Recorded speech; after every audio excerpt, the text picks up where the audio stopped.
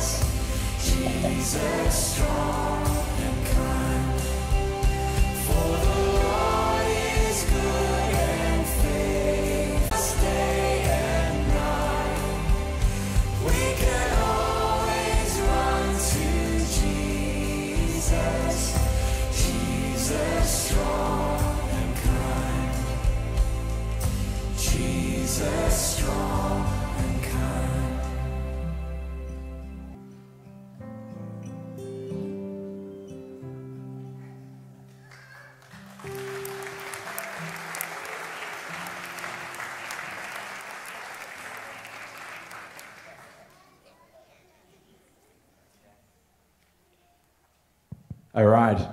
Good job, kids. Let's encourage them. Yeah. So you guys can go find your parents, but you're going to stay here because we're actually going to invite the older kids to come up and they are going to perform for us. So little kids, you guys can come down. And if you are an older kid and you're not up here, you can come up.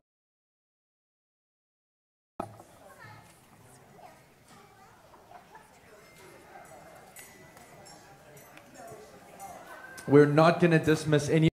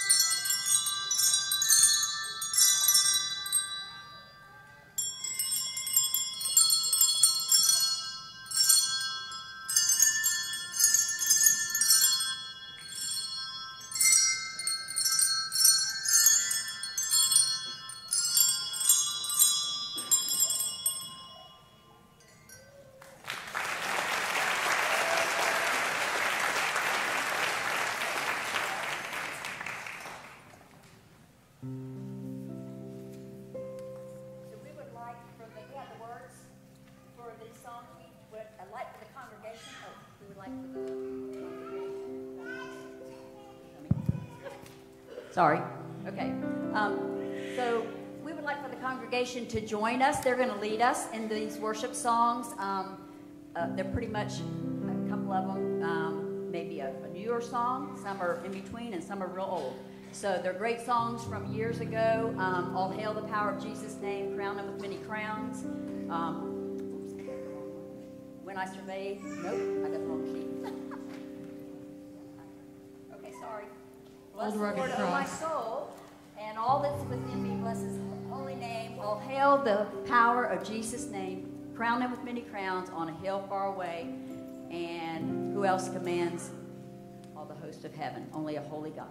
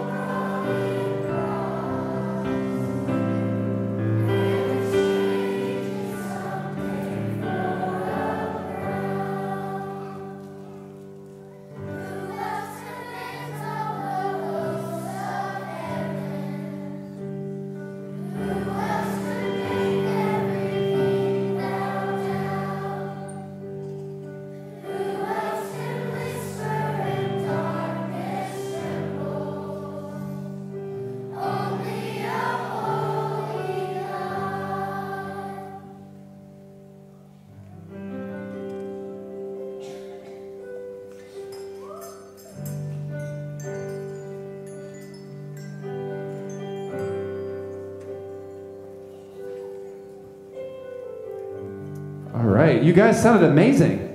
That was awesome.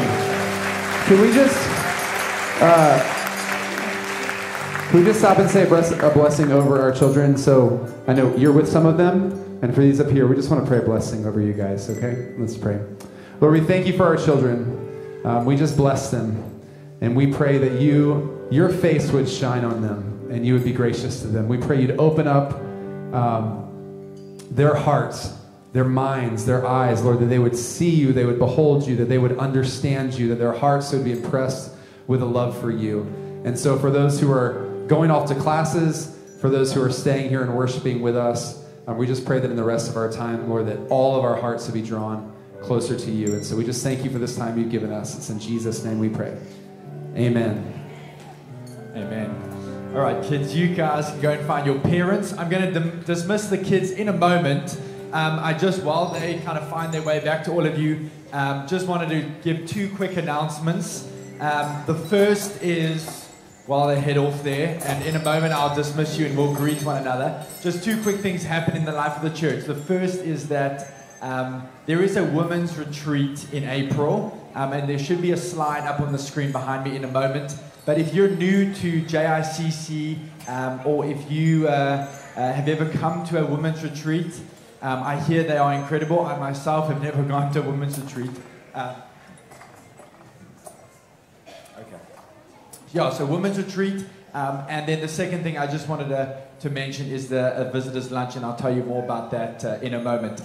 Parents, you guys can now take your kids um, and uh, check them in. Um, for, I believe there are kids' packets in the lobby. I just want to check the exact age group. Um, so there's uh, K5 and below will go to childcare, and first to fifth grade are actually in the service today, and there are kids' packets for you. So if you're a first grader or a fifth grader or somewhere between those two, um, you're also welcome to go to the lobby now and actually get a packet um, through the that you can use through the service. For the rest of us, um, we're going to greet while the, the parents check their kids in. Uh, so let's say hi and uh, meet someone new. Go for it.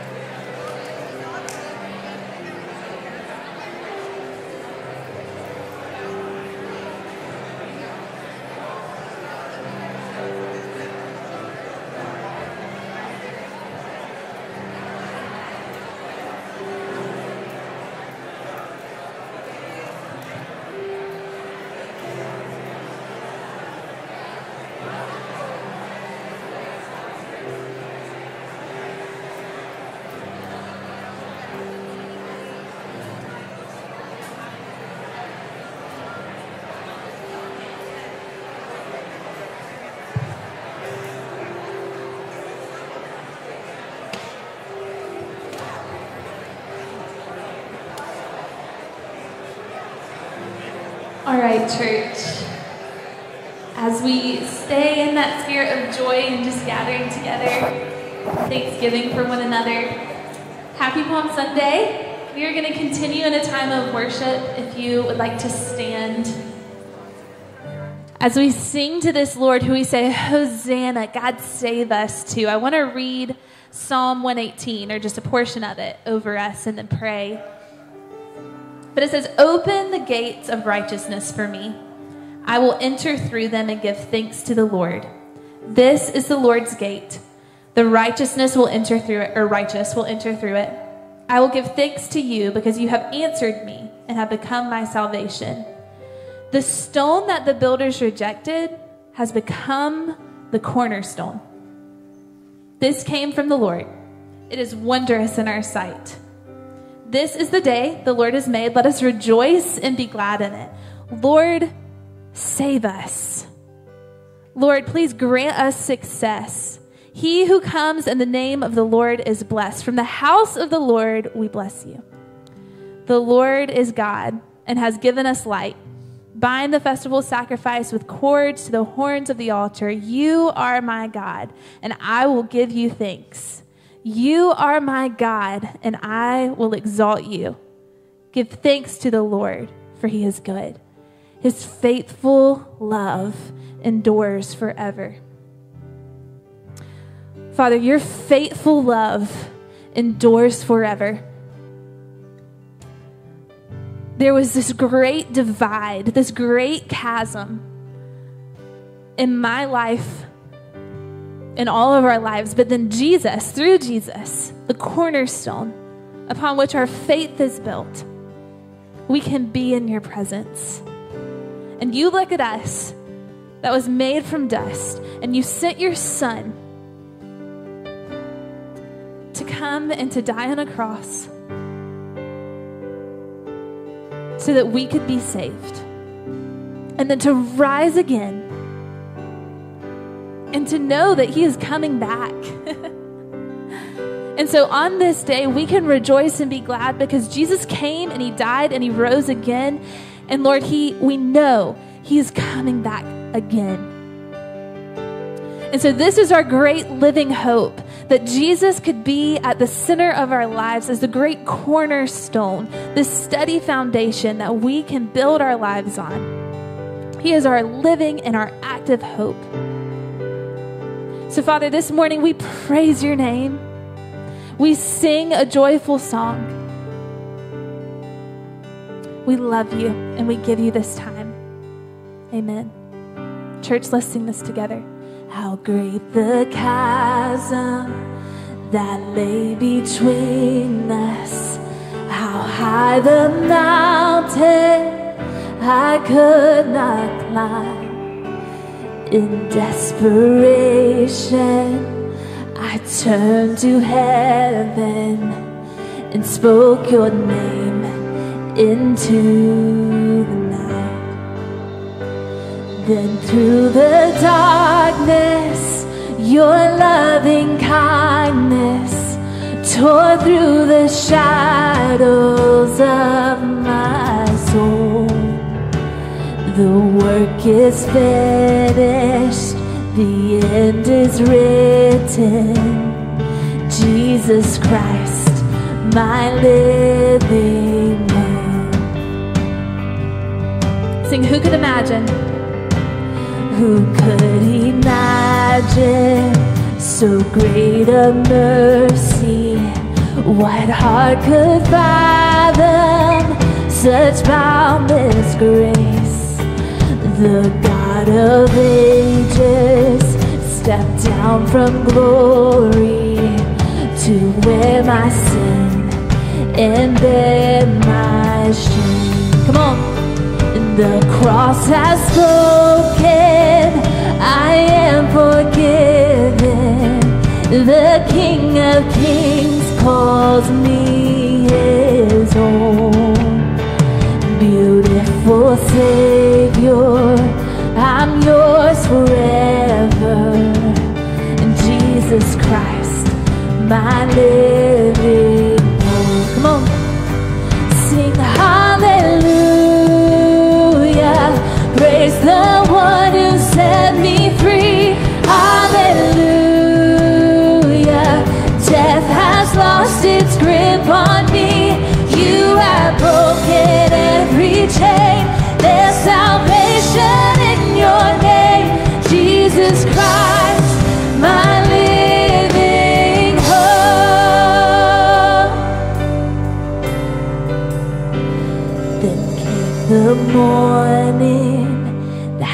The promise.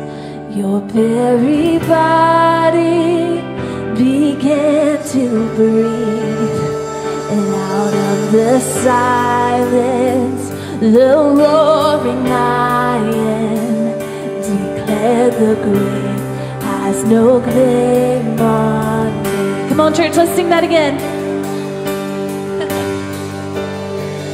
Then came the morning that sealed the promise. Your very body began to break,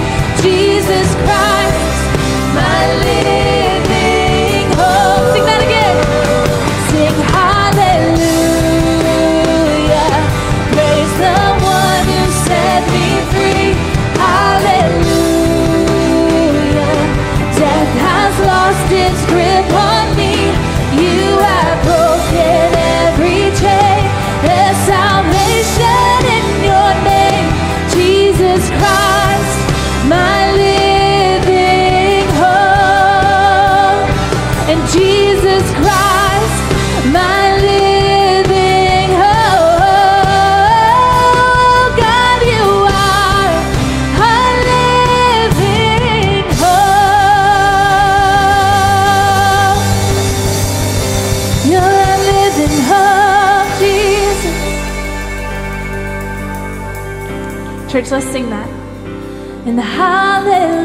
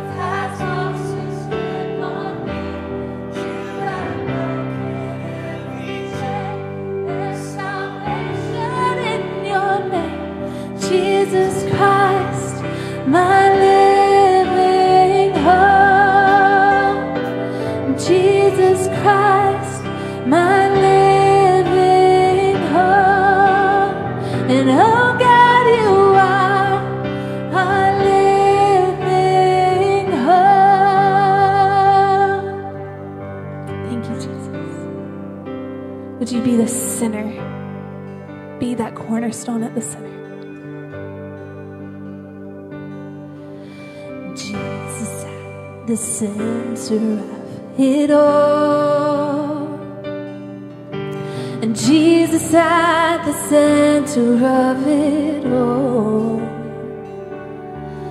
From beginning to the end, it will always be, it's always been you, Jesus. Sing that again. Jesus.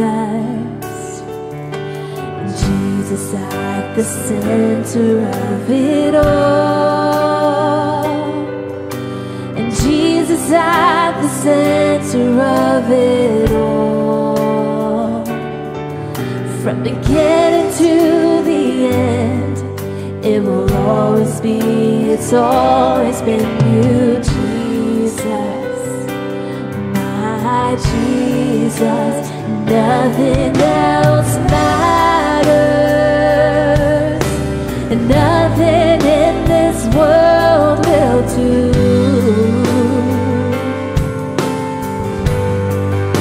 And Jesus, you're the center.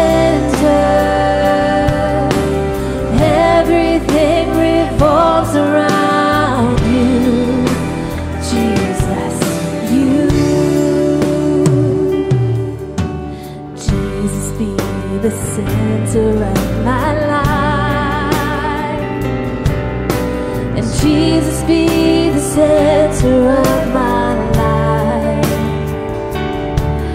From beginning to the end, it will always be, it's always been you, Jesus. My Jesus, and nothing else matters, nothing in this world will do.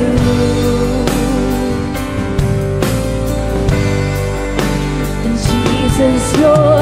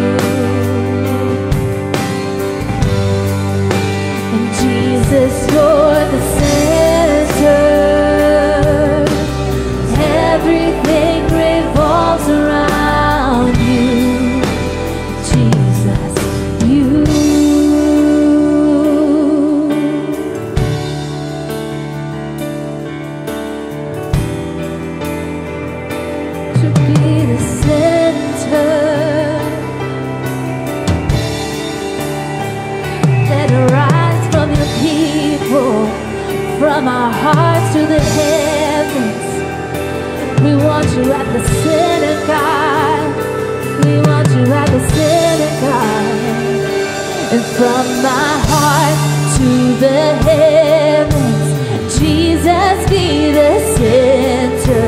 It's all about you. Yes, it's all about you. From my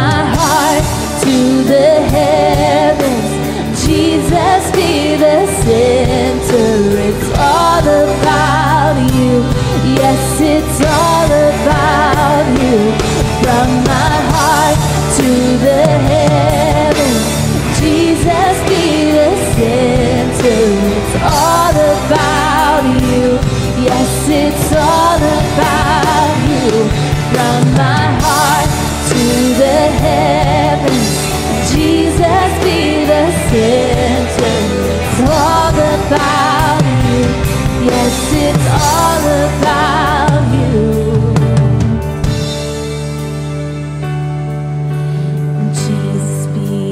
Center of your church. And Jesus be the center of your church. And every knee will bow, and every tongue shall confess you, Jesus. Sing his name. Oh, Jesus, my Jesus. Jesus, and nothing else matters,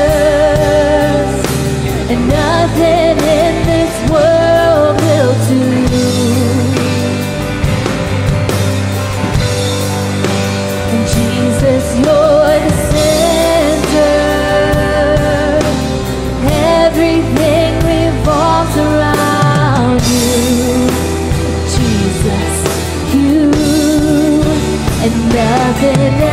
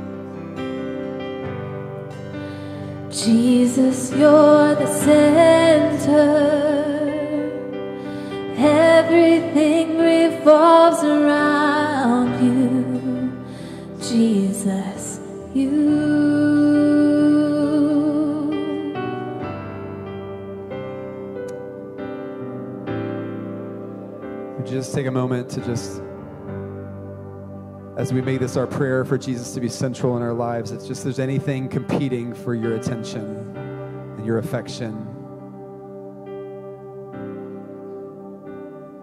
Just anything that's taken preeminence in your life, would you just just take a moment to confess that?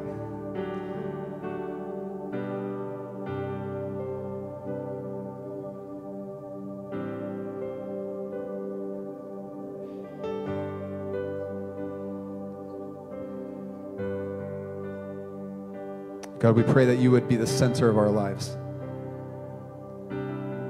We would love you with all of our heart and soul and mind and strength. And so, Lord, forgive us for these places where we have not loved you with our whole heart, where we have not loved our neighbor as ourselves. And we receive your forgiveness. We receive your life.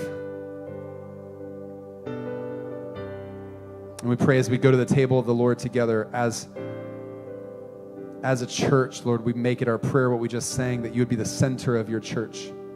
That every knee would bow and every tongue would confess that Jesus is Lord. And so would you unify us at your table as we remember your sacrifice? Would you unify us, Lord, as we remember the fact that we are in this new covenant with you that is forever, it's eternal. And we thank you for it. It's in Jesus' name we pray. Amen. Would you grab your communion elements? If you don't already have them, go ahead and grab them. And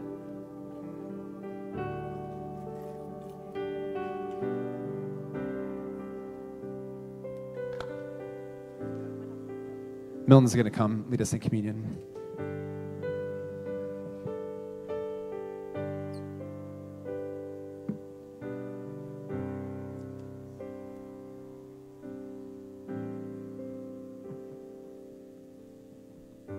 Actually, we're going to give it. Um, go ahead. It's coming up.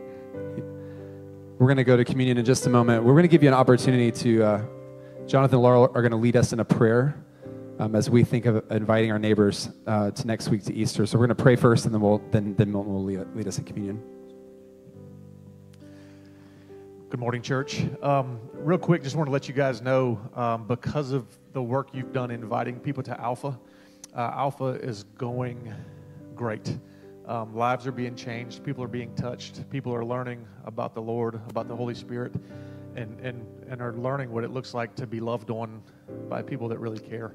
Um, and so we want to continue that momentum um, by inviting you guys uh, to grab these cards that are in the bulletins and invite people to Easter this coming Sunday.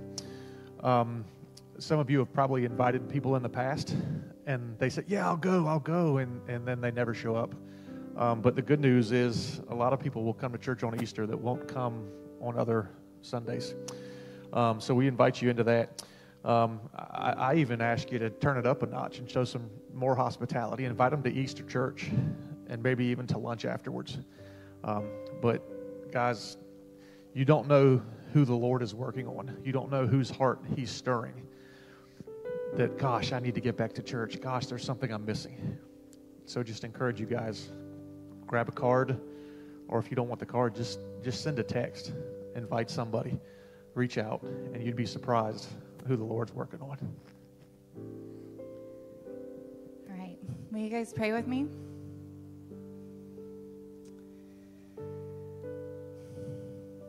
Father, some of us already have somebody in mind. Um, and some of us really aren't sure if we'll have the opportunity to do that this week. Maybe there's nobody obvious. Jesus, you are good news. To those of us who know you, you are better in every way. We are unashamed of inviting people to know you. Lord, I pray boldness over everyone in this room, the desire to take a risk. I pray for a moment that you would set up this week that we can just have a conversation with someone who does not know you. Open a door to talk about you. Lord, that you would bring them into your body. There are holes of people we're waiting to fill here so that we can fully reflect you as a church, God. We just pray that people would know you, that you are good and you are better and you are holy And you are the one who makes our life sufficient and abundant. Lord, so we pray that you would do a great work this week um, and that we would see many, not just for Easter, but for eternity. Just come home. Thank you. You're so good.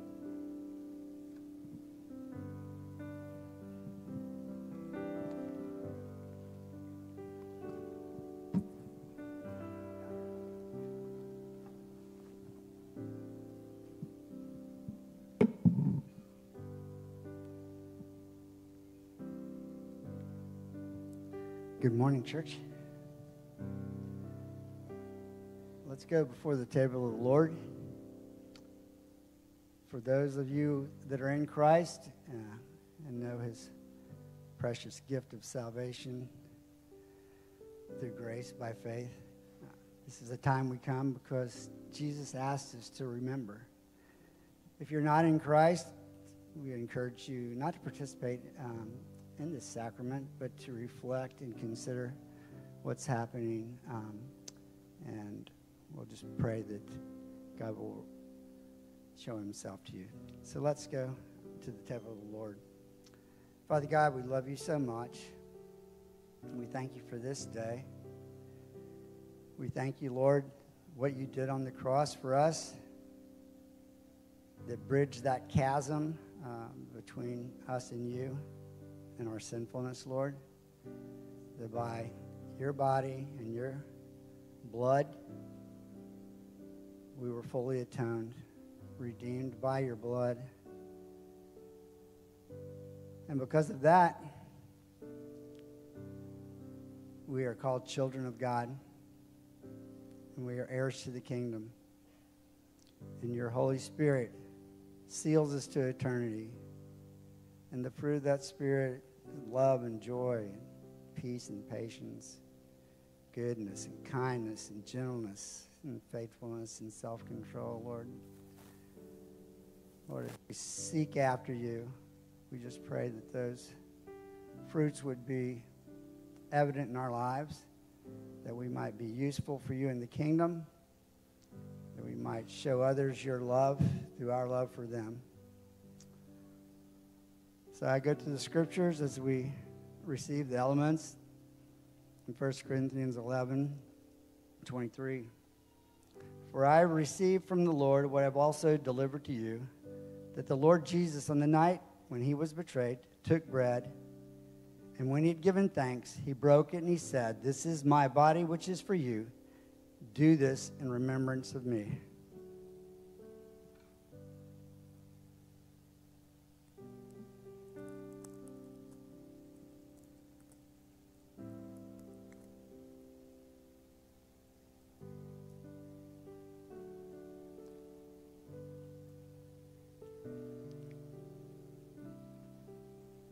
The same way, he also took the cup after supper, saying, This is this cup is the new covenant in my blood. Do this as often as you drink it in remembrance of me. For as often as you eat of this bread and drink of this cup, you proclaim the Lord's death until he comes.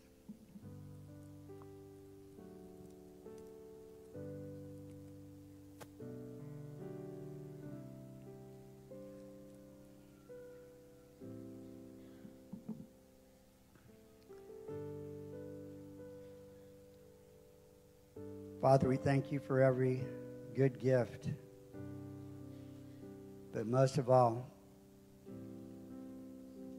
we just humbly tell you we love you and we thank you for the grace you've poured out upon us. Let us take that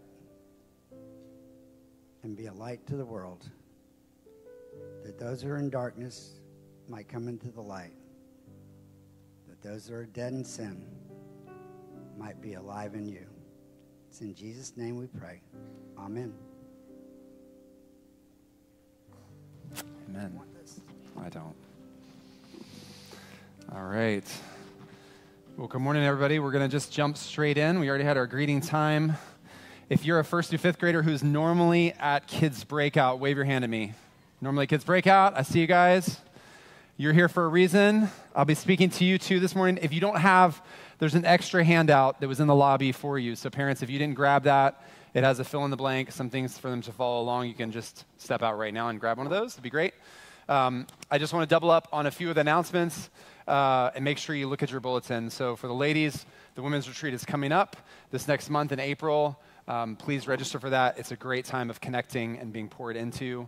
If you are a visitor uh, or new with the church, then just want to let you know that there's going to be a lunch immediately follow, uh, so the week after Easter. So we just want to let you know about that. We'll have a lunch that'll be immediately following the service the week after Easter. So if you in, invite, for all of you here, if you invite friends, neighbors, somebody comes with you Easter next week, that might be an also another time to encourage them to come the following week. Stay afterwards for lunch with us. Um, we are continuing our series talking about building up. And uh, another place that we find this phrase is in Ephesians chapter 4. And since we've kind of moved around and the service is a little bit, uh, it's, it's been a little bit out of order of what we normally do, I'd like you guys to stand. Would you stand with me? And I'm going to read Ephesians 4, and then we're going to pray together. Just want to say again to the children who are here so, you're here for a reason. We want you to be included in the time. Uh, something. Uh, we're going to do a part two of this message, but what we were planning on doing at the end of the service was we were going to pray for John and just commission him as an elder of the church, but uh, his daughter got sick. And so he is home taking care of her, and Odessa's working in the children's ministry, and we wanted them both to be able to be here and be together when we were praying for them. So instead of praying for him and commissioning him, we're going to actually take a moment at the end and we're going to pray for each other. So I just want to give you a heads up on that. We've done that a few different times, but we're going to give you an opportunity to actually pull together in groups and pray for each other. And as God would have it in the schedule, the children are with us today, and so we have an opportunity to pray blessing over them. And as you hear these words, as we think about the gifts being poured out in the church for the sake of the building up of the body of Christ, it's for all of us. It's for uh, men and women. It's for young and old. It's for those who are mature in the faith and those who are just coming into faith. God's Spirit has been poured out on all flesh. And He, he is calling us to speak the truth in love to each other, that we may be built up and equipped for ministry, that we may reflect Him in the world. And that's what Ephesians 4 talks about. So let's read. I, therefore, a prisoner for the Lord, urge you to walk in a manner worthy of the calling to which you have been called, with all humility and gentleness, with patience, bearing with one another in love, eager to maintain the unity of the Spirit in the bond of peace. There is one body and one Spirit, just as you were called to the ho- one hope that belongs to your call one Lord, one faith, one baptism, one God and Father of all, who was over all and through all and in all. But grace was given to each of us according to the measure of Christ's gift.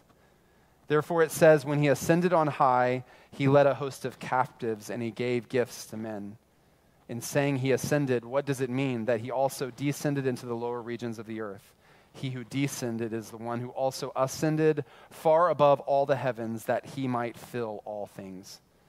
And he gave the apostles, the prophets, the evangelists, the shepherds, and teachers to equip the saints for the work of ministry, for the building up of the body of Christ, until we all attain to the unity of the faith and of the knowledge of the Son of God, to mature manhood, to the measure of the stature of the fullness of Christ, so that we may no longer be children, tossed to and fro by every wave and carried on by every wind of doctrine, by human cunning, by craftiness and deceitful schemes.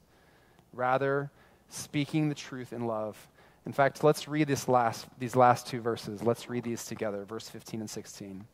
Rather, speaking the truth in love, we are to grow up in every way into Him who is the head, into Christ, from whom the whole body, joined and held together by every joint with which is equipped, when each part is working properly, makes the body grow so that it builds itself up in love.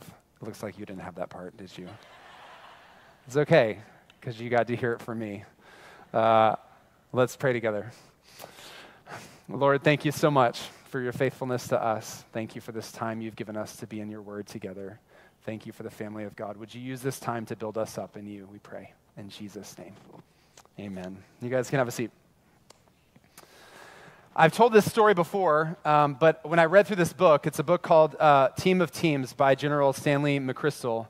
So, as a general, he was called to serve in um, the Iraqi war, facing Al Qaeda and different terrorist groups. And he's talking about the challenge and all that he learned about leadership and about people working together and people coming together. And I was just struck by all the different lessons. And it wasn't until reading it through once and then kind of going back through it again slowly that I, started to see why it was so compelling to me. And the reason was is it's, it's, it's just a picture of the church. And there's this story that he starts off with in chapter one that's kind of this arresting moment because you're reading through and he's talking about this tactical battle. And so it's a general, uh, you know, in the United States Army, and he's talking about all these different um, people who are moving around the city and are communicating with each other. And you, you get the sense that, that a battle is happening, something is happening, and you're kind of following a- along. And then you get to the very end of it, and it talks about a, a car exploding. And it says this, for, it, it has this line it says, For Al Qaeda, the mission was a success. The whole time you're thinking he's talking about the U.S. Army, and then you realize he's talking about the enemy. These words in Ephesians that are talking about the body of Christ working together, building it, itself up, as Paul continues to write, he goes on to talk about not wrestling against flesh and blood, against human craftiness and deceitful schemes. He's reminding us that we are in a spiritual battle, that we're in a spiritual war. And what General McChrystal did at the beginning of his book was he, he was eh, jolting the reader into understanding hey, this is not just talking about us fighting a battle, but there's a, there's a war that is going on that